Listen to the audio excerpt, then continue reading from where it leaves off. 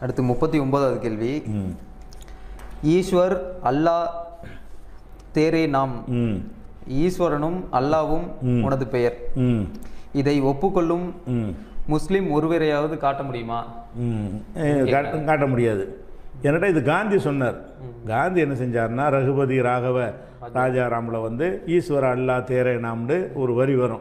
அவர் எல்லா மக்களையும் ஒன்றுபடுத்துறோம் நினைத்து கொண்டு ஈஸ்வரன் நீந்தான்.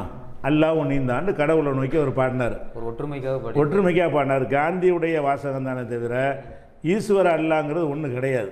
அப்படி நாங்கள் சொல்ல மாட்டோம். அவர் காந்தி சொன்னதை அப்படி இதுதான் திணித்தல் என்பது. நாங்கள் அல்லாங்கிறதுனா அல்லாவுக்கு அவனுக்கு வந்து மனைவி இல்லைங்கிறோம் தாய் தந்தை இல்லைங்கிறோம் அண்ணன் தம்பி இல்லைங்கிறோம் அவனுக்கு தேவை பசி இல்லை தாகம் இல்லைங்கிறோம். இப்படி நாங்கள் அல்லாங்கிறத நம்புகிறோம் நீங்கள் ஈஸ்வரன் சொல்லக்கூடியவங்களை வந்து அவர் தூங்குவாருங்கிறீங்க. அவங்களுக்கெல்லாம் கடவுளுக்கெல்லாம் புள்ள குட்டி இருக்குது ரெண்டு இப்படி ஒன்றா ஒரு ஆளுக்கு பேரா இப்படி இருக்க முடியும்? இது நாங்கள் ஒற்றுமைக்காக கூட அப்படி பேசக்கூடாதுன்னு ஒற்றுமைக்காக கூட அப்படி பேசக்கூடாதுன்னு சொல்றீங்களா? ஆமாம் இவற்றை ஏமாத்துறது தானே. இது என்ன ஏன் இப்படி ஈஸ்வரெல்லாம் அவன் அவன் இதில் இருந்து கொண்டு ஒத்துமையாக இருக்கணும். நம்ம எல்லார் கொள்கை ஒன்று தாங்கிறது சொன்னதுனால தான் எடுபடலை அது. அவருடைய சித்தாந்தம் வந்து எடுபடாமல் போகிறது காரணம்னா பொய் இது. இப்படி இல்லை. ஈஸ்வர அல்லா தேரணாம்ங்கிறது வந்து அவர் மனசில் கூட இருந்திருக்காது. சும்மா அவர் சொன்னாரே தவிர ஈஸ்வரன்டா யார் அல்லாண்டா யாருன்னு சொல்லி அவருக்கு வித்தியாசம் தெரியும் அது. அதனால் ஒவ்வொரு முஸ்லீமும் வந்து இதை ஒத்துக்கிறோம். ஏன் ஒத்துக்கணும்னு நான் கேட்குறேன். நடிக்க சொல்கிறீங்களா நடிக்க மாட்டோம் நாங்கள் அல்லான்ற இறைவனை சொல்கிறோம் அது எங்களுக்கு உரிமை இருக்குது. நீங்கள் ஈஸ்வரன் நல்லா சொல்லிட்டு போ உங்களுக்கு உரிமை இருக்குது இதை ஏத்துக்கிறவங்களும் இருக்காங்கல்ல? இது நாட்டுல இருக்க தானே செய்றாங்க. யார் அப்படி இருக்கா?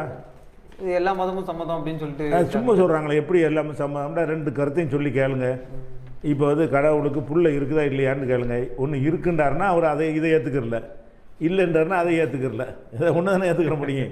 அது சும்மா சொல்கிறாங்க அதாவது ஒற்றுமைக்காக வேண்டி சில போலி சித்தாந்தங்களை வந்து நடைமுறையில் வச்சுருக்கிறாங்க. அதில் ஒன்று தான் இது ஈஸ்வ எம்பதமும் சம்மதம்ங்கிறது. அது கிடையாது. ப வேற்றுமையில் தான் ஒற்றுமை. ஒற்றுமைங்கிறது எல்லாம் ஒன்று ஒரே மாதிரி வரணும்னு நினச்சிங்கன்னா நடக்கவே நடக்காது. நீ கடவுள் இல்லைங்கிறியா? அப்படி இருந்துக்க. உனக்கு அந்த உரிமை இருக்குது நான் கடவுள் இருக்குது எனக்கு உரிமை இருக்குது உன் உரிமையை நான் தடுக்கக்கூடாது என் உரிமை இதான் ஒற்றுமை. அப்போ கடவுள் உண்டுங்கிறதும் சரி இல்லை என்பதும் சரிண்டா எப்படி? எப்படி ரெண்டு சரியாக இருக்குங்கிறேன் ஏதாவது ஒன்றில் தானே இருக்கணும். அறி அறிவாளி எதில் இருக்கணும்? அறிவற்றவன் ஏதாவது உளருவான். பைத்தியக்காரன் உளருவான். அறிவுள்ள ஒருத்தனாக இருந்தால் கடவுள் உண்டு என்று சொன்னால் அவன் இல்லைங்கிற கருத்தை மறுக்கிறான். இல்லைன்னு சொன்னால் கடவுள் இருக்குங்கிற கருத்தை மறுக்கிறான். கடவுள் ஒன்றுன்னு சொன்னால் பலருங்கிற கருத்தை மறுக்கிறான். கடவுள் பலர்னு சொன்னால் ஒன்றுங்கிற கருத்தை மறுக்கிறான். கடவுளுக்கு தேவை இருக்குன்னு சொன்னால் தேவை இல்லைங்கிற கருத்தை மறுக்கிறான். எவன் எப்படி ஒன்று ஆக முடியுங்கிறான் கொஞ்சம் கூட லாஜிக் கிடையாது. உல உலகத்தில் யார் இப்படி ஒருத்தன் இருக்க மாட்டான் இப்படி. ஒரு ஏமாற்று வேலை. ஆமாம் அப்படி ஒருத்தன் இருக்கிறா சொன்னால் அவனை மனநோயில் போய் செக் பண்ணணும். ரெண்டும் சரிங்கிறான்னா அவனுக்கு என்ன நடந்துருச்சுன்னு பார்க்கணும்.